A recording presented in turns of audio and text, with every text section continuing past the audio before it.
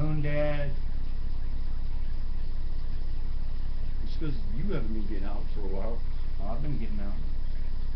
Here, let's get a picture. Moon Dad, Moon Son.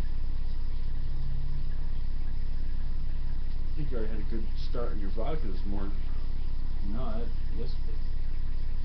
Get out of here. Take